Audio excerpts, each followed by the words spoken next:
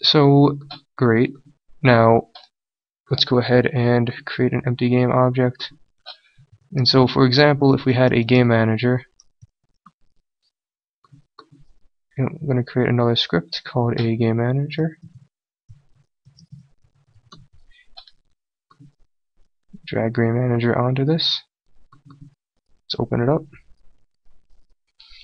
So we can now use our listener and if you right click on it and go to refactor and then implement interface click that and then hit enter it will then create this thing for you which is now implementing this function that we described in our listener and all we're going to do is just print out something to our debug log. Time. Ran. Out. Okay. So our game manager uses this interface. So let's go back to our universal timer and we can drag him into our listener array or list.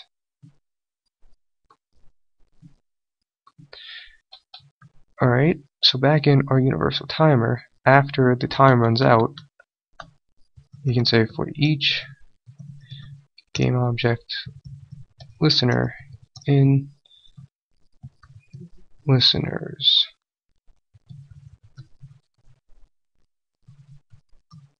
And then I want to say I time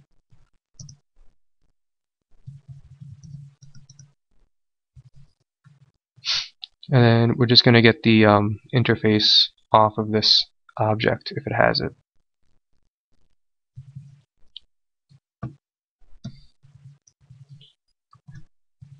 And it's a little different than you get normal components because it's not a normal component.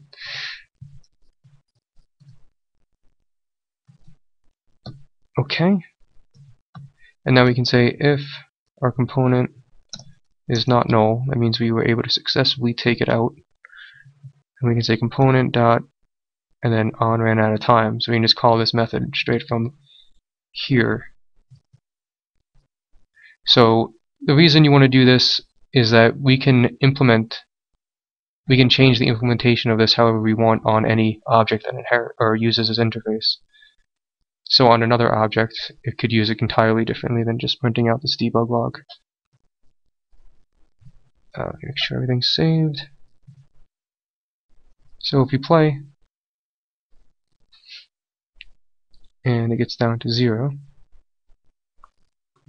time out, which is from here. Alright, so what about subscribers? So we're going to go ahead and create another uh, or not empty game object. Go ahead and create a cube.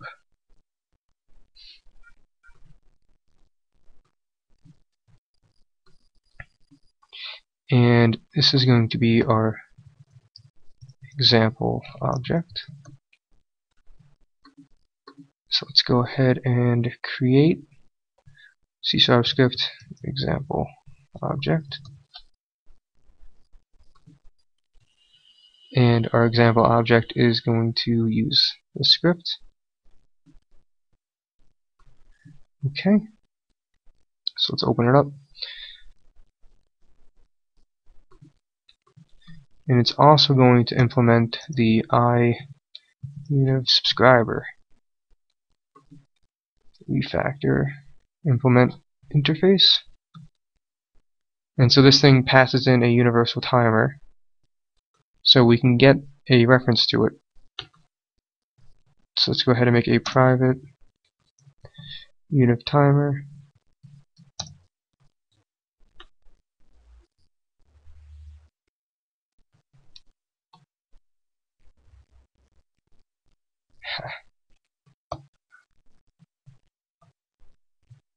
unit timer and we're going to initialize it here So now that we can access our object, let's go ahead and create a method that we want to call.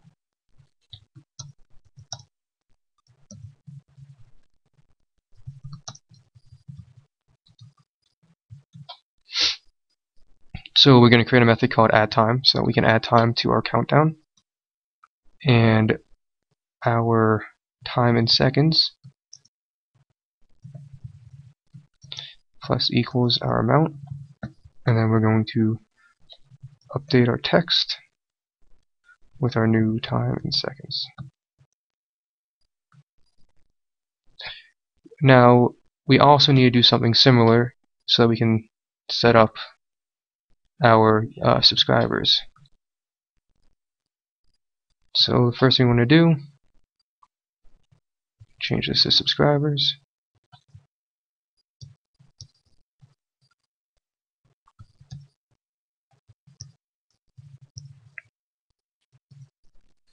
And they use the i subscriber Okay, and their method is initialize. And it takes this, because this is our timer. Alright, so let's go back to our example object. We can get rid of these for now. And we're going to have a void on mouse down. And then we're going to have a public float. So a public float time to add.